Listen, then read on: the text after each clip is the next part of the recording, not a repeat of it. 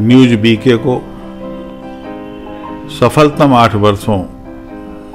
की हार्दिक मंगल कामना निश्चित रूप से आपने आठ वर्षों में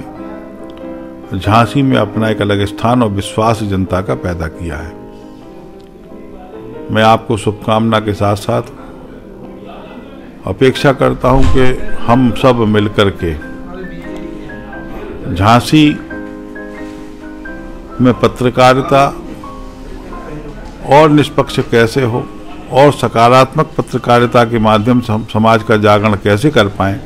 इस पर हम अनवरत कार्य करते रहेंगे। आपके सफलतम आठ वर्षों की बहुत बहुत शुभकामनाएँ।